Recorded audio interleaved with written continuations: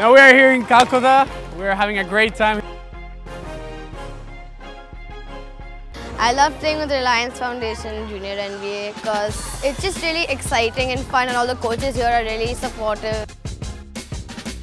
You know, we are still young, so we get to experience how the NBA experiences, but in a junior version. Reliance Foundation Junior NBA gives us the opportunity to meet very new people. So you get an exposure to play and if you play well then you get to go international and all that so it's very nice.